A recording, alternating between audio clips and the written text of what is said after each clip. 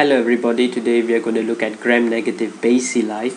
So these are bacteria that actually show up as pink rods uh, right after gram stain under microscopic view. The first bacteria we are going to look at is Escherichia coli. So Escherichia coli are mixed rods, they are gram-negative bacilli. They also grow well within 24 hours at 35 degrees Celsius on routine laboratory media such as blood, McConkey or chocolate agar. They also grow in the presence of bile salts.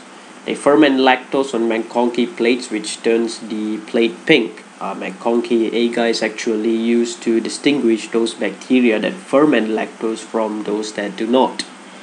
Sorbitol, sorbitol McConkey, on the other hand, is used to isolate the serotype O157. So E. coli uh, O157 differs from other strains of E. coli in being uh, unable to ferment uh, sorbitol.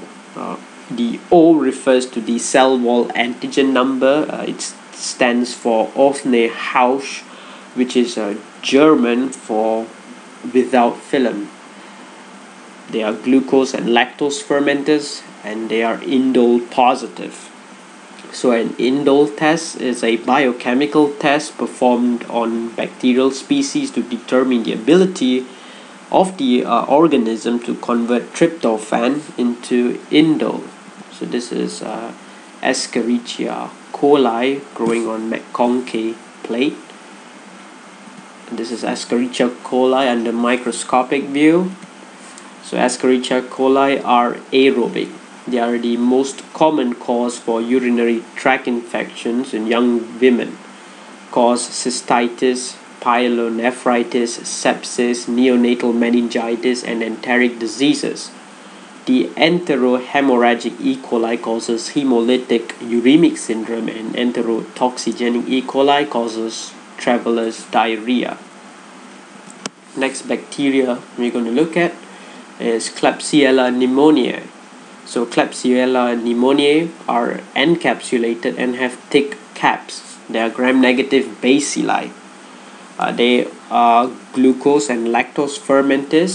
They form pink uh, mucoid colonies 3 to 4 millimeters in diameter on McConkey agar they form purple colonies on EMB. So EMB stands for eosin methylene blue, also known as Levine's formulation.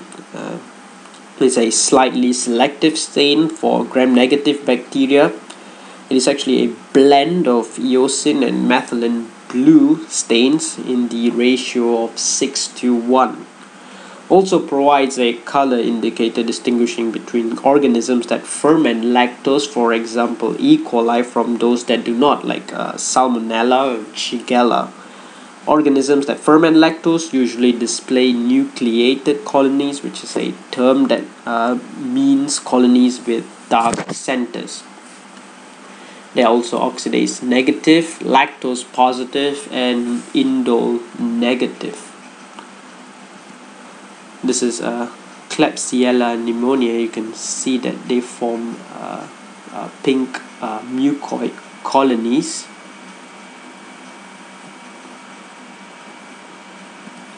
Klebsiella pneumoniae under uh, microscopic view you can see that they are surrounded by a thick capsule so Klebsiella pneumoniae they are aerobic and encapsulated also facultative, facultative anaerobes. They cause pneumonia, uh, thick blood sputum, and urinary tract infections.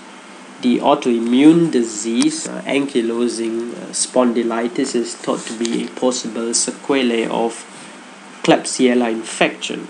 So, ankylosing uh, spondylitis is a long-term arthritis. Ankylos uh, meaning crooked, spondylus vertebrae and itis is inflammation. It affects the bones and joints at the base of the spine where it connects to the pelvis. So these joints then become swollen and inflamed, and over time, the affected spinal bones then join together. Next, bacteria, uh, Proteus species, these Proteus genus So Proteus species are rods, gram-negative bacilli, they form swarming colonies due to the hundreds of flagella on each bacterium. They are glucose fermenters, oxidase negative, non-lactose fermenters, urease positive. So a urease test is a test that is done to identify organisms that are capable of hydrolyzing urea to produce ammonia and carbon dioxide. Some strains of Proteus, OXK, OX2, and OX19 have antigens in common with the pathogenic rickettsia, which allows the use of prote- Proteus antigens to test for antibodies to rickettsial diseases. This is Proteus vulgaris, species, Proteus uh, growing on MacConkey agar. Proteus uh, under microscopic view. Proteus species they are aerobic, facultative anaerobes. The third most common cause of urinary tract infections of the uh, Escherichia coli and Staphylococcus saprophyticus also causes kidney stones, uh, magnesium, calcium, ammonium sulfate due to the presence of urease in Proteus mirabilis. How it does this is by uh, increasing the alkalinity of urine. Also causes wound infection, septicemia, and pneumonia, most commonly in hospitalized patients. Next bacteria, Salmonella enterica. So Salmonella enterica are long, so they are gram-negative bacilli, grows a MacConkey, forming medium uh, medium-sized grayish colonies and also causing no alteration to blood. Uh, they are aerobic. So this is Salmonella enterica growing on blood agar. Salmonella enterica in the microscopic view yeah, quite long actually. Salmonella species, uh, we have Salmonella enterica and Salmonella typhi. These are ones of great importance. Salmonella typhi causing typhoid fever. So gas Salmonella enterica causes, on the other hand, causes gastroenteritis, fever, abdominal pain and cramps, uh, ingestion of contact usually due to the ingestion of contaminated food and poor hygienic practices. And as I said earlier, Salmonella typhi causes typhoid fever. I'll go through this in a separate lecture. Next bacteria, uh, Shigella boydii. Uh, serogroup C, Shigella boydii are long. They're gram-negative bacilli, they grow in MacConkey and are aerobic. Shigella boydii under microscopic view.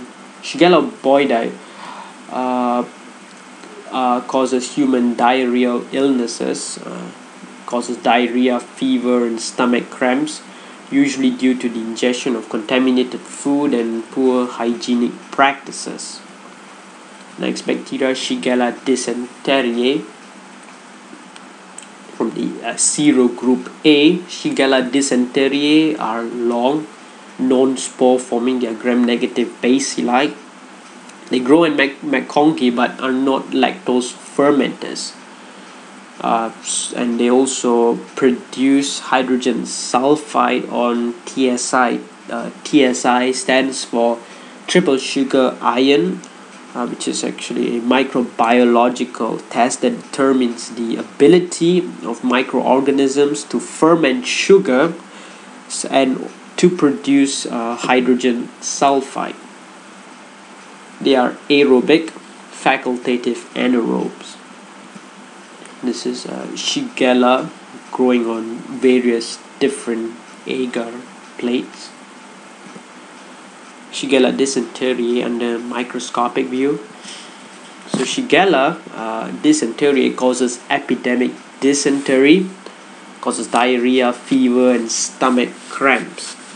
so ingestion it's usually caused by the ingestion of uh, contaminated food or poor hygienic practices hemolytic uremic syndrome can occur after type 1 uh, Shigella dysentery infection.